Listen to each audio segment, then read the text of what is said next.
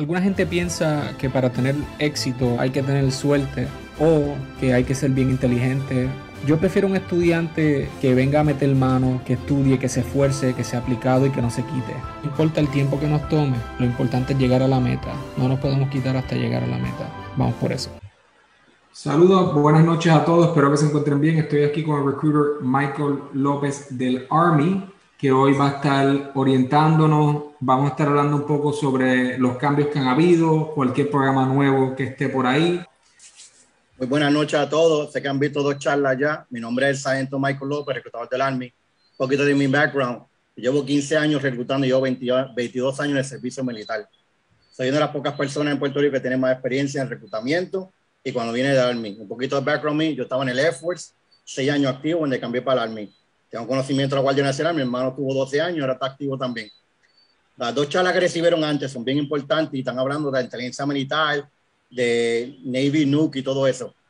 Pero vamos a hablar un poquito de lo que la Army está estableciendo y qué, qué hacemos con las personas que no pueden obtener esa puntuación. No todo el mundo puede obtener un 99, un 90, un 80 en el ASBA. El ASBA no es un examen que podemos coger tan fácil porque es algo complicado y por eso es que existen estas ayudas como la de Cardona para ofrecerle a todo el mundo. So, el Army estableció un programa, le voy a hablar un poquito de detalle los requisitos del programa para que entiendan. Y este programa lleva ya dos meses en el Army establecido. Ya en la oficina de nosotros en Cagua, reclutamiento, hemos reclutado cinco personas para este programa y tengo la puntualidad que ellos entraron y la puntualidad que obtuvieron y todo, escogieron su trabajo después de la escuela, que lo voy a explicar cómo funciona, y escogieron su bono y los beneficios adicionales vamos a hablar de los dos programas, otro programa adicional que le voy a hablar, que vamos a ir en detalle después. Los dos programas que estamos hablando es Army Prep Course, que es la academia de recursos, de conocimiento, de estudio. Y el otro es para pasar para la, la escuela de fitness, las personas que están un poquito sobre peso autorizado. Ya muchas veces he visto una charla que han preguntado cuál es el peso máximo y mínimo. Yo incluí la tabla en esta presentación para que todo el mundo la tenga y puede verla y puede pausar la presentación y ver dónde tiene que estar y se lo explica cómo se lee la tabla de, del Army como tal para tú entrar con el peso. Ok, vamos a hablar del primer programa, que es el Prep Course. Básicamente, este programa requiere un par de cositas.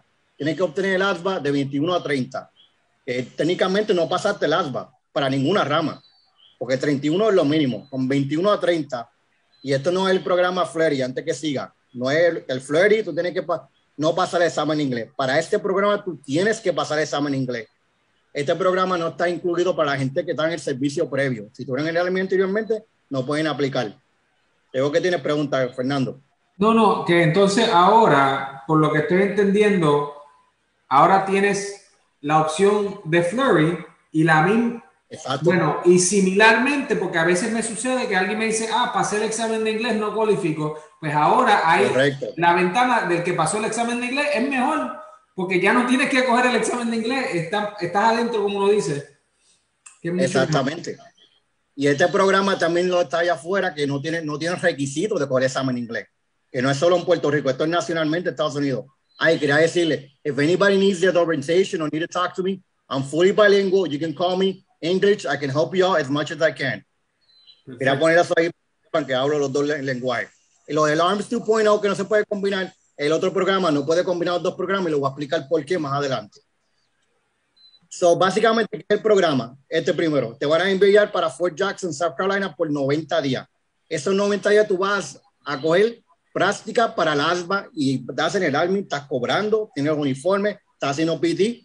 A la vez que tú obtengas la puntualidad de 31 más en el AFCT, que no es el ASBA, es el Comprehension Test que cogen los muchachos en la escuela inglés también. De 31 más, ahí es que tú transcurres al básico.